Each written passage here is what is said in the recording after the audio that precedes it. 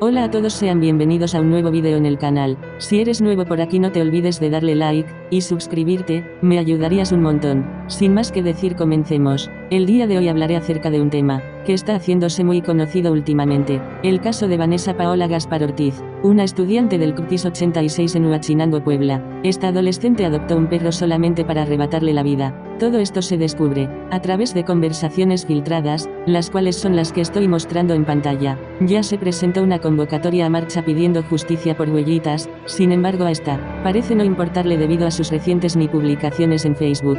En las redes sociales están informando acerca de sus movimientos, aunque se presume que se trasladó a Estados Unidos debido a la publicación que hizo. Ante todo esto están ofreciendo recompensa a quien encuentre a ella y a sus padres.